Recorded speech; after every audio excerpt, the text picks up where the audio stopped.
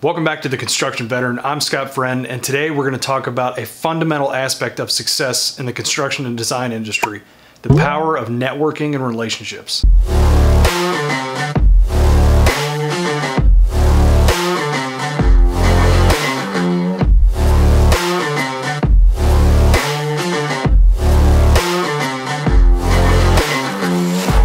Networking isn't just about connections.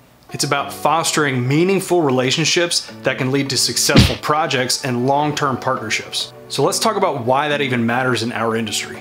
Collaboration and innovation. Innovation comes from collaboration. Networking allows people from different disciplines within the industry to get together, share ideas, and create something truly unique. When you have a network of diverse talents, you bring a fresh perspective to the table. It's amazing what we can achieve when we pull together our skills and ideas. Number two, business opportunities. Networking opens doors to new business opportunities. Whether you're a contractor seeking projects or a designer seeking clients, your network can be valuable in seeking out referrals and leads. You never know where your next project might come from. Building relationships within the industry can lead to new opportunities and help grow your business. Number three, learning and professional development. Continuous learning is essential in an ever evolving industry.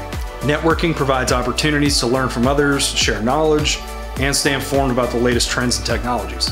I have gained a ton of insight from my peers. Whether it's learning new methods or software, networking keeps us at the forefront of our field. Using your network can help put together the right team for a complex project. Building my network and making those relationships has transformed my entire career personally.